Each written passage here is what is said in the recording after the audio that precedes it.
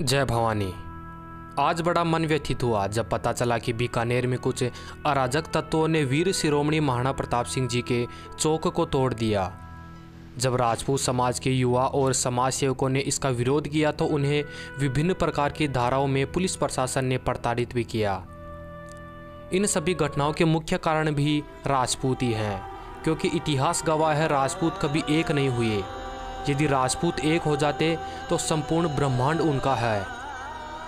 लेकिन आपसी फूट का नतीजा और अपना कहने वालों की गद्दारी ने राजपूतों को इतना निर्बल बना दिया है कि यदि राजपूत समाज के किसी भी युवा या परिवार के साथ कोई भी घटना हो जाए तो उन्हें इंसाफ नहीं मिलता।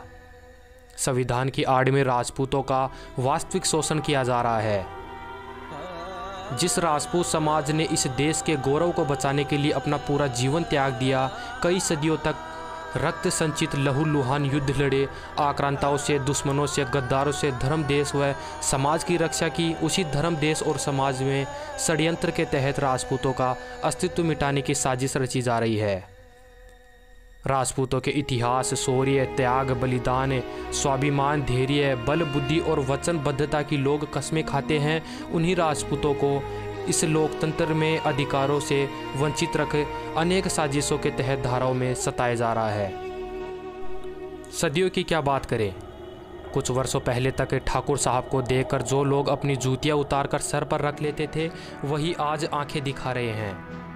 वक्त रहते क्षत्रिय समाज को संभलना होगा, वरना इस षड्यंत्र में भारी खामियाजा उठाना पड़ सकता है।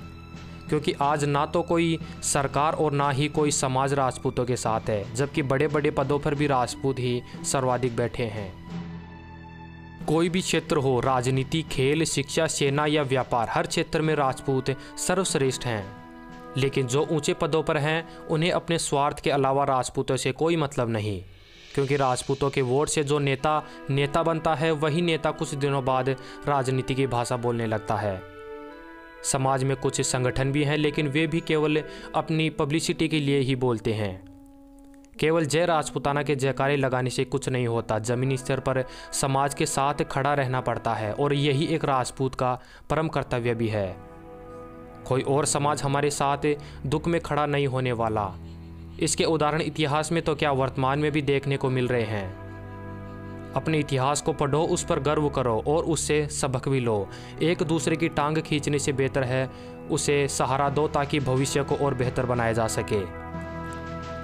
आज अपने इतिहास, गोत्र, सरनेम, वेशभूषा, संस्कार रीति रिवाज परंपरा और वीर पुरुषों के इतिहास को चुराने की हर एक संभव कोशिश की जा रही है। और इन सब का कारण आप भली भांति जानते हैं कौन है। इसलिए सभी राजपूत एक हो, नेक हो। राजपूत संगठनों से जुड़े। संगठन भी संगठन के हिसाब से चले, राजनीति के हिसाब से नहीं। जय भवानी, जय राजपूताना। मैं हूँ सुरेंद्र सिंह शेखावत।